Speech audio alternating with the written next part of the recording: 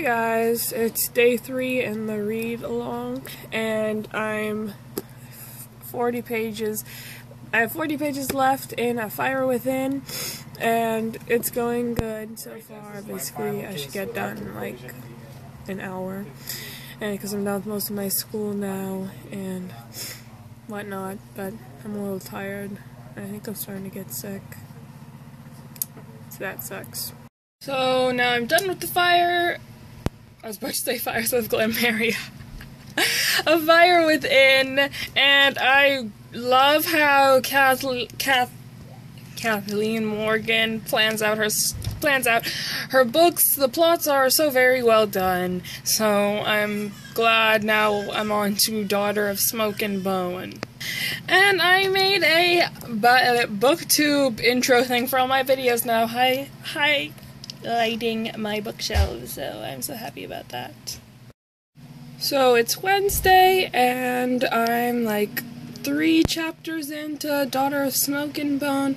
It's going good so far, but I didn't really like read that much of it after I got finished with A Fire Within.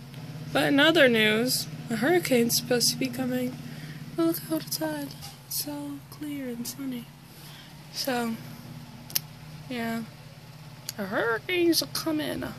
Guys, it's Sasha here, and I'm still on A Daughter of Smoke and Bone, and let me tell you, it's going really good. I really am starting to love it. The first couple of chapters were a little bit boring for my taste. It was a little slow to get into, but once you got into it, it's really, really good, so I'm really loving this right now. I'm 200 pages in, which is good because, um, at the beginning of the day, at the beginning of today, I was only like 20 pages in, so hopefully I can make it to at least 300, if not finish the book by tonight. So we shall see. Hey guys, so I'm 286 pages into Daughter of Smoke and Bone. It's 11 o'clock at night.